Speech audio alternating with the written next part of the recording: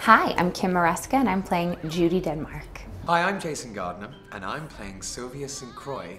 Hi, my name's Laura Denning and I'm playing Louise and Eve in Ruthless the Musical. I'm Harriet Thorpe. I play Miss Thorne. And today we're doing a showbiz day.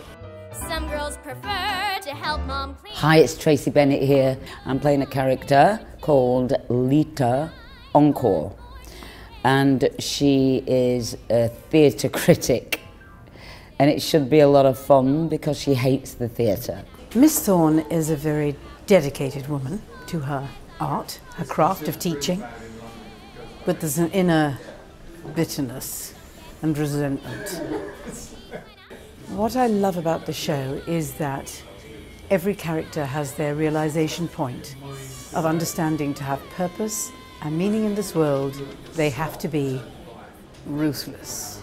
Also, it resonates, I think, today with exactly where society is so fame hungry, I think. Um, so Ruthless is a really fun, really funny, fast moving, kind of loving parody of classic Broadway musicals and the movie The Bad Seed. It kind of plays with themes like how far would would a person go to be a star? It's bonkers, it's crazy, it's showbiz, it's Broadway, it's everything you want it to be. Ruthless, the musical at the Arts Theatre from March 16th to June 23rd.